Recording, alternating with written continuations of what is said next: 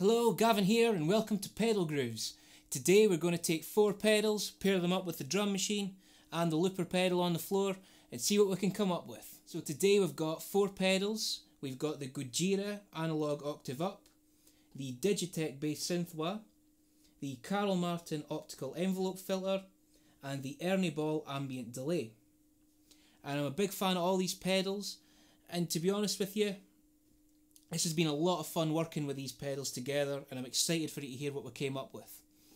But before we get to that, we're going to look at the four pedals, look at some of the sounds that we can make with them, and really just have a wee bit of time with each on their own. But if you don't want to listen to all that, that's totally cool. You can skip to the time in the corner and you'll hear the jam on its own. But before we get to that, first off, we're using the Fender, what am I using again? it's a Fender Jazz Bass with the old flat wounds on it from Rotosound and we are also using the Roland TR8 as our drum machine, triggering sounds from Ableton. The looper is the Ditto X4 from TC Electronics and we're powering the pedals today with the Danelectro Battery Billionaire which is a really cool product. We'll be talking about more of that in the future but honestly really cool stuff. And of course my tuner is my older than time Korg pitch black tuner it's never failed me and I think that'll permanently be on my board for the rest of my life. So let's have a look at the pedals we're using today. First up we have the Gojira Effects Analog Octave Up, which I did do a full video on this along with the Subdark from them and I love both pedals, they're both really good pedals and if you've not seen that the link is in the description to see that demo. But today we're just using the Octave Up and we're going to use it as our lead tone, sort of like the, the cleaner lead tone, which I know seems a bit crazy to say because it's still quite gritty, but it just gives it that warmth. So just to look at that on its own, first up we have the clean tone of the bass. So that's just the bridge pickup, and that sounds like this.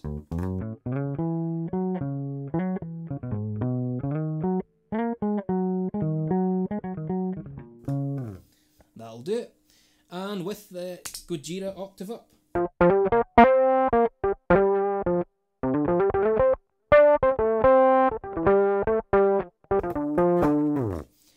See, it just gives it that little bit of character, and I love that pedal. I really love that sound. I overuse that sound now. I'm sorry, you're going to hear that a lot. so, moving on we are going to use the Digitech Bass Synth Wah. Now this pedal really deserves a video of its own. There are so many sounds in this pedal, like so many sounds. And I love it. I actually bought this when I was on holiday in Florida, um, probably about eight years ago, something like that. Um, maybe it was actually more than that. We'll say eight. But this is a pedal I brought back with me, and they stopped making it a wee while after I'd bought it and I kind of wish I'd bought two or three more because the price has gone up on these since that time. Yeah, there was a period of time you could get these really cheap, and I kind of wish I'd bought loads of them up at that point because it's uh, been a mainstay on my board for a long time. So we will dive into that deeper in in in, in another video if I can speak English. But for today, we're just going to look at the sound I use in the video. Both pickups on.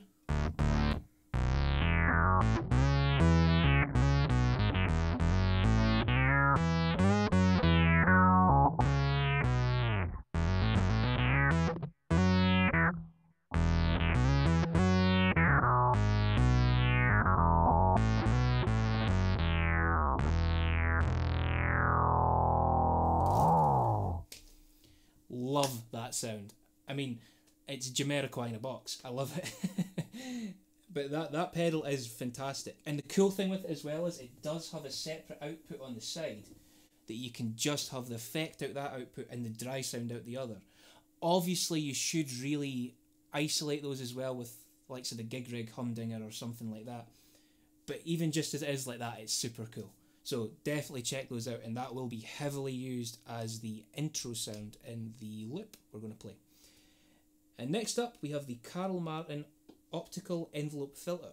Now this pedal, again, like the Digitech, has so much it can do.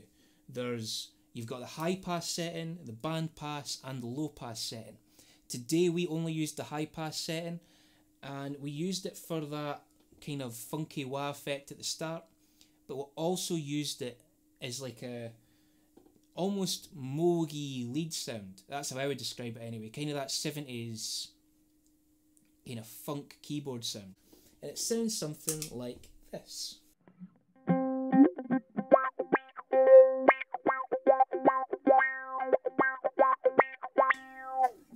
It's a great sound.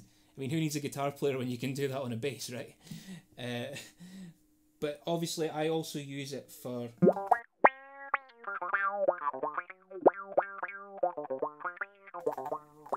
That type of sound in the track, but I do pair it up with the Gojira Octave Up, and this combination sounds great together. I'm a big fan of this combo.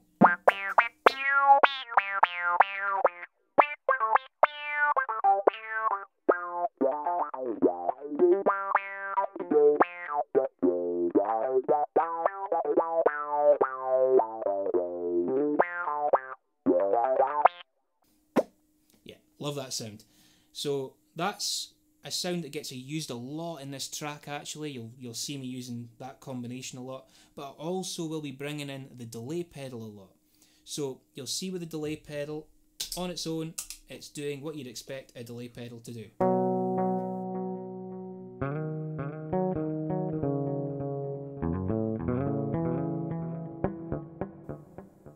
Those harmonics didn't ring out. That's better.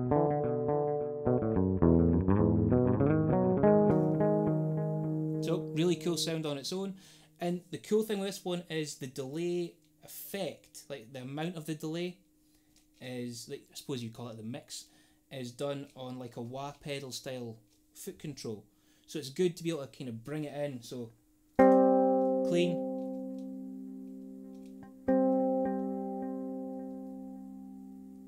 delay. So it's great. It does have reverb built in as well, which is on about halfway. In fact, everything's really at about halfway on that pedal. So yeah, I I just love that pedal, and I don't really change settings too much on it. I tend to just bring in as much as I need, and it works great like that. So.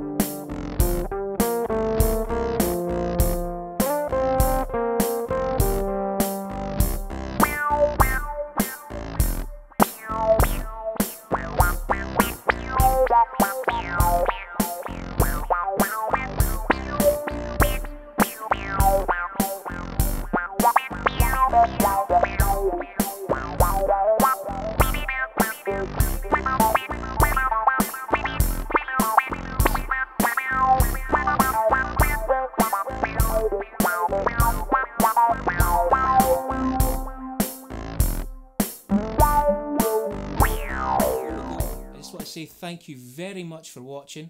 Really appreciate that. And if you've enjoyed this video, please hit like and subscribe.